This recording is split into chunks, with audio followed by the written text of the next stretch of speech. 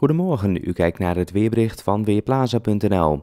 Verspreid over het land komt lage bewolking voor en vooral in het midden en zuiden ook nog eerst nevel of lokaal mist. Maar het ochtendgrijs gaat al vrij snel verdwijnen en dan schijnt overal geregeld de zon. Tot de avond blijft het droog en het wordt uiteindelijk zo'n 18 graden in het noordwesten tot plaatselijk 22 graden in het zuidoosten van het land. De kans op een bui is heel erg klein, in ieder geval tot de avond. In de avond zien we in het zuiden de bewolking verder toenemen en zou er daar een enkele bui kunnen vallen.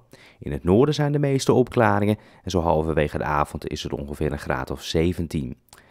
Dan morgen hebben we duidelijk meer bewolking dan vandaag, tussendoor ook nog wel van tijd tot tijd zon. En vooral ten zuiden van de grote rivieren is kans op een regen- of onweersbui. Het wordt wel wat warmer, zo'n 20 tot 23 graden en dat alles bij een zwakke tot matige wind uit het oosten tot noordoosten.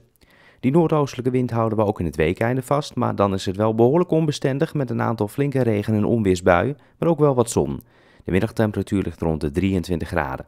Op maandag veel bewolking, een paar buien en iets minder warm. Ik ben Ben Langkamp van Weerplaza.nl